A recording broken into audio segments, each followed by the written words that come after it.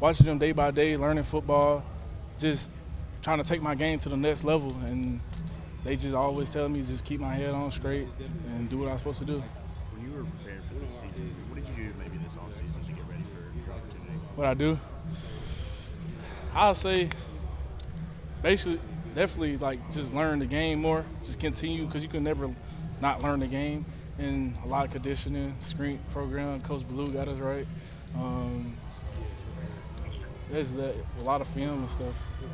Is that something you learned from the older guys? Is that that film study and that being a student? Yeah, I mean Dallas last year, you could never catch him like watching NFL tape on his iPad. Like he was all a big film guy, just trying to get better at, his craft, pass rushing and stuff.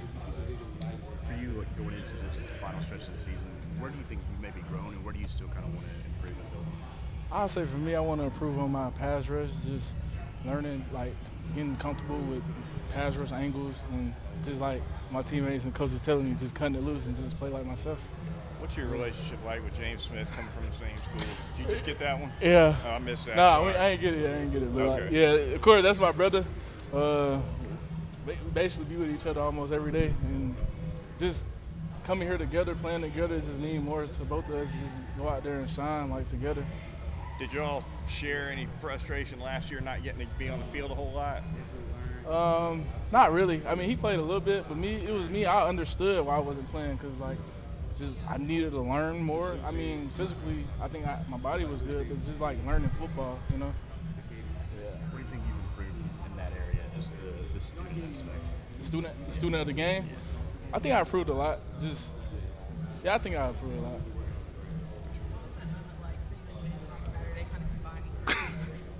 I ain't even see when I caught the pick. I ain't even see him because my eyes was on the quarterback. I ain't even see him until later. He was like, "Hey man, I got that man." I was like, "Man, I ain't see you, man." Till I watched the video, I was like, "All right, man, you got it." Quick step away from football. It's Halloween today. Do you have a favorite Halloween candy or like a favorite memory or costume from growing up? Mm, a favorite memory? I mean, I remember me and my brothers. Well, I'm originally from Troy, so I just remember my brothers uh, going to like scare people in the, in the neighborhood. That's a, that's a memory. I think you're talking about last year you're developing. Is it your strength? Was that the strength that you really needed to build up, or Yeah, what, what just- was it about your game? Just learning football because like when I came, I really didn't know nothing. So just taking my football IQ to the next level really just had me. Get, well, gave, the gave me the ability to separate myself from others. You talk about you talk about building your football IQ. A lot of people on this team have talked about um, Kane Wommack's system being easier to understand, helping players progress.